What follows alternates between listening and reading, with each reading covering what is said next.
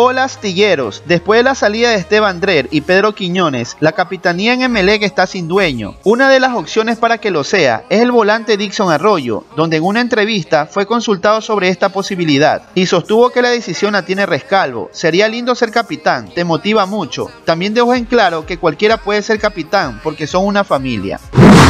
En las redes sociales de Barcelona anunciaron el día de ayer que ya faltan 11 días para la noche amarilla, pues en su publicación dejaron una pista de quién puede ser el jugador estrella invitado, donde postearon el número 10 y la bandera de Italia. Se abre la posibilidad de que esté en la fiesta de presentación de los Canarios Francesco Totti o Alessandro Del Piero, ya que ellos vistieron la 10 en sus respectivos equipos, o también Totti sea el más probable, ya que él fue el 10 de la selección italiana. Saquen ustedes mismos sus propias conclusiones, te leo en los comentarios. Toma ahí, toma dos, toma dos, toma dos. Toma ahí, con mi amigo la ciudad. Ya, Roberto. Capitán Oscar Bagui, rumbo a Alicante, España. Listo, capitán se va, se despide.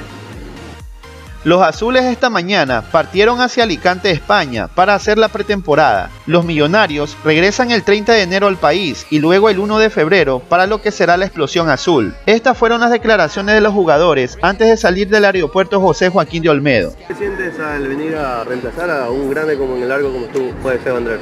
Bueno, eh, sabemos la, la, capacidad que, que, que tiene Drer, eh, eh, no, no le he tratado mucho pero siempre vi sus su, su videos, vi, vi sus partidos. Eh, me llena de, de, orgullo venir ahora a reemplazarlo a él. Eh, trataré de hacerlo mejor y, y, y sobre todo con, convertirme en, en, en, un ídolo acá.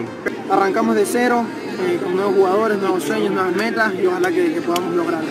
Llegar a la selección también es un punto de personalidad. Sí, terminé siendo convocado, ojalá podamos arrancar siendo convocados igual. Pero bueno, primero está MLE y después MLE nos llevará a dar esos segundos pasos. Zapata, ¿cómo has estado en estos dos días con tus compañeros? ¿Ya has podido conversar con ellos? Eh, ¿Cómo es la relación ahorita en estos dos días? Pues bueno, eh, agradecido con ellos por el acogimiento, creo que son muy buenas personas y, y bueno, esperemos seguir entendiéndonos muy bien. La verdad que sí, la verdad, la verdad que sí, eh, estamos, eh, queremos aprovechar al máximo esta pretemporada, Dios quiera que todo salga bien y bueno, y apuntar a lo que, lo que se viene, ¿no? Sabemos que tenemos dos torneos, eh, perdón, tres torneos y queremos eh, dar pelea en todo. ¿Qué aspiraciones con Emelec en este 2020, Roberto?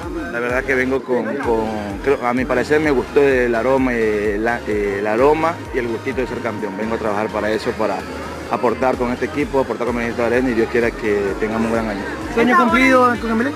Sí, eh, la verdad es que sueño cumplido, pero bueno, hay más objetivos, hay más sueños y bueno, hay que cumplir, hay que trabajar para eso. Eh, la idea es eh, aprovechar al máximo esta pretemporada y bueno, sumar lo que más se pueda.